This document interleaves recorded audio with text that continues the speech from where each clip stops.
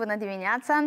Astăzi, Academia de Științe a Moldovei, în colaborare cu Academia Română, organizează o ședință festivă cu genericul Eminescu în vers și în cânt. Iar în cadrul acestui eveniment o să fie prezent și maestrul Eugen Doga, inclusiv veți avea ocazia să admirați o superbă expoziție, este chiar în spatele meu, sunt operele lui Mihai Eminescu, însă mai multe detalii despre aceste evenimente ne va furniza domnul Ion Tighineanu, președintele Academiei de Științe a Moldovei. Bună dimineața și bine v-am găsit! Bună dimineața și bine ați venit la Academia de Știință. Și vrem să vă felicităm cu acest prilej frumos, atât pe dumneavoastră, cât și pe toți cei care creează frumosul și îmbogățesc patrimoniul nostru cultural. Vă mulțumesc și vă felicităm cu frum, o frumoasă ocazie, Ziua Națională a Culturii. Și apropo, astăzi evenimentele sunt cumva structurate pe două părți. Da. Uh, primele vor avea loc la ora 11 în cadrul Academiei Române, iar deja celelalte evenimente se vor desfășura la ora 14.00 în cadrul Academiei de Științe a Moldovei. Vreau să ne oferiți aici mai multe detalii. Ce anume se va întâmpla? La ora 11, împreună cu domnul academician Ioan Aurel Pop, președintele Academiei Române, deschidem ședința festivă uh, care va avea loc în aula uh, Academiei Române. Uh, și vor fi mesaje de salut din partea autorităților, iar mai, mai apoi academicienii Mircea Martin și academicianul Mihai Cimpoi vor avea discurs, câte un cuvânt, câte, de, spus. câte un cuvânt de spus uh, și la ora 14 uh, împreună cu domnul președinte Pop vom deschide ședința festivă uh, în cadrul Academiei de Știință a Moldovei, aici în sala Azurie. Este o, un eveniment care este constituit din două părți prim, în prima jumătate a zilei în aula Academiei Române și în a doua jumătate a zilei în sala Azurie Academiei de Știință a Moldovei. Aici, la Chișinău, am organizat această ședință și va fi posibil și în live stream mm-hmm. pentru toată societatea participării prin platforma Zoom și în sala Azurie. Despre Uh, importanța uh, Zilei uh, Naționale a Culturii va vorbi maestrul Constantin Rusnac, doctor honoris cauza Academiei de Știință a Moldovei și secretarul general al țării noastre la UNESCO, iar despre creația maestrului Eugen Doga, va vorbi un expert în domeniu și este vorba de membrul corespondent Ion Gagim. Iată, dumneavoastră vedeți aici. Programul, Programul este, agenda. Va mai fi apoi difuzat în premierul interviul cu academicianul Eugen Doga, realizat de postul public de televiziune și vom savura un fragment din baletul Luceafărul. Vreau să spun că vor mai fi câteva uh, momente foarte interesante, dar nu deschid paranteze. Sunt niște surprize. Da, surprize. Acum aș vrea să ne oprim și la aceste expoziții care sunt absolut superbe. Sunt opere de a lui uh, Mihai Eminescu, opere destul de rare, pe care nu oricine are ocazia să le vadă, să le citească, să le răsfăiască în viața de zi cu zi. Așa că o să vă rog pe dumneavoastră să ne le prezentați astfel încât să le vadă și să le admire cei de acasă. Da, foarte corect. Avem uh, opere rare. Aveți o colecție destul de bogată. O colecție bogată în context. Iată, reprezentanții Institutului Moldova din Leipzig a venit cu o donație și este peste, avem o donație de unicat, peste 1000 de volume și asta wow. e din colecția personală a directorului acestui institut, Klaus Bockman. Deschidem așa ca să înțelegem despre ce este vorba. Deci, opere, poezii tipărite în timpul vieții marelui poet și vedeți anul. 1939. 1939. Uh, și uh, iată, dacă ne uităm, uh, Fundația pentru Literatură și Artă, Regele Carol al II-lea. Aici sunt mai multe volume, și de, iată, acesta este de 1943.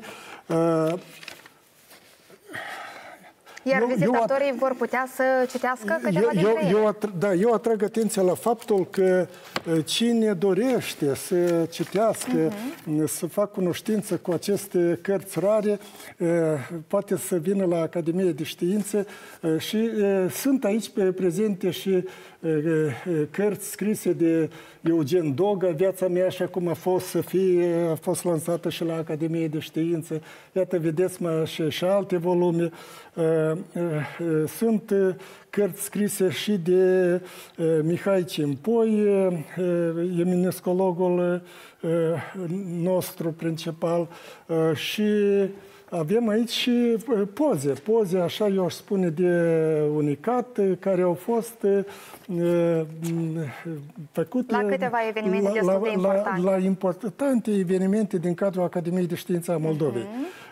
Desigur că noi, astăzi este, eu aș spune așa, o întâlnire de suflet.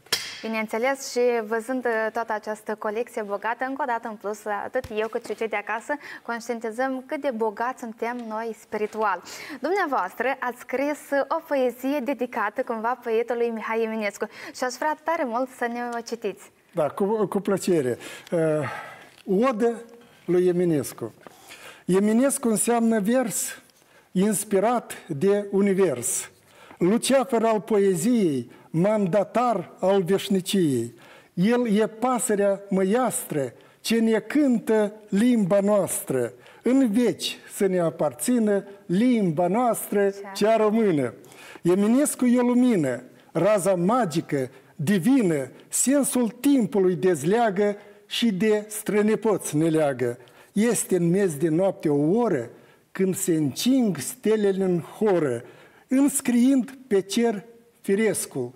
Tot ce avem e Eminescu. Destul de frumos și profund ați scris și vreau să vă întreb când și în ce context ați simțit nevoia de a scrie această odă. Știți, doi ani în urmă am avut un, un eveniment memorabil la Academie de Știință dedicat uh, zilei limbii române. Numeam atunci uh, limba noastră cea română. Și iată, chiar în dimineața acelei zile uh-huh. a venit muza la mine și desigur că mai apoi am mai optimizat, dar în dimineața zilei de 31 august, 2 ani în urmă. Este foarte frumos. Ați reușit undeva să o publicați păi, deocamdată a, doar a, pe paginile A fost online. publicat în uh, literatura și arta, în uh, principala revistă care publică... Da, da, da. Și acum, domnul Ion, haideți să discutăm și despre importanța Zilei Naționale a Culturii și cât de valorificată este cultura la noi în Republica Moldova. Știți, este o întrebare bună. Desigur că noi putem să ne impunem în spațiul european, în lumea aceasta care astăzi e frământată uh-huh. de, mhm. prin cultura noastră. Și eu cred că aici avem succese, dar trebuie lucrat mai mult. Și trebuie de susținut cultura. Ca de exemplu, cum, de exemplu, tânăra generație ar putea să susțină, să promoveze mai intens cultura? Nu, în primul rând, eu cred că trebuie de susținut uh-huh. instituțiile ce țin de cercetări științifice în domeniu. Eu am în vedere științele umanistice mai profund. Trebuie de susținut oamenii de cultură și desigur că Republica Moldova trebuie să-și facă un nume, eu aș spune o imagine pozitivă prin cultură și de fapt împreună cu România, pentru că suntem un neam, avem o limbă. Eu, iată, noi colaborăm cu Academia Română. Scopul nostru este să creăm cât mai multe punți de colaborare ca de la un moment hotarul pe, pe prut să nu se mai vadă să nu se simtă totalmente. Nu, și e normal lucrul ăsta. E și normal. cu siguranță vă reușește de ceea ce am observat. Nu, vom reuși și, de fapt, două academii, Academia Română și Academia de Știință a Moldovei, eh, vine cu un exemplu frumos pentru toată uh-huh. societatea. Nu trebuie să vorbim mult, trebuie să acționăm, să, acționăm. să facem. să facem multe lucruri bune, bune. Și atunci tot o să fie bine. Pe final de interviu, dacă aveți un mesaj către colegii dumneavoastră, care ar fi acela? În primul rând, doresc tuturor oamenilor de știință, oamenilor de cultură, multă sănătate.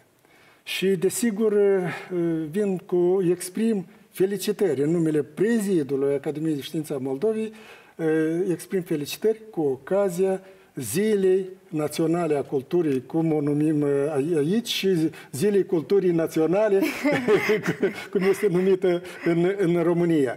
Și să vină timpul ca să nu fie cu diferite denumiri, să fie una.